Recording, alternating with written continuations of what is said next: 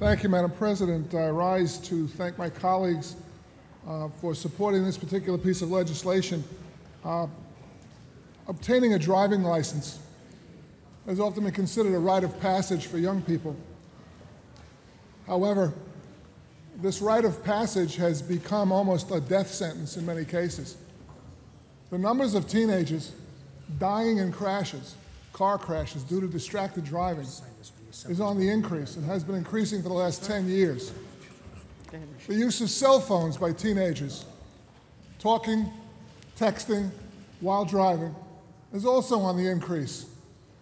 These accidents, these deaths can be prevented in many cases if we just simply adhere to the law and the law of the state of New York, which is no hands, you have to drive hands free. You got to keep your hands on the wheel and your eyes on the road. We're losing too many of our young people to death in car crashes for no good reason, for absolutely no good reason, which could easily be preventable if we just insist on enforcement of this law. Madam President, I appreciate the support. I appreciate the work of the governor in bringing this bill uh, to fruition. I appreciate the work of Senator Fuschillo and the Transportation Committee in the negotiations with the other House, and I appreciate the support in the other House that is anticipated to come.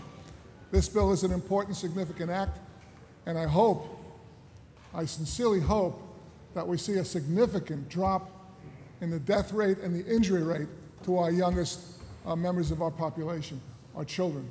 Thank you, Madam President. I vote aye.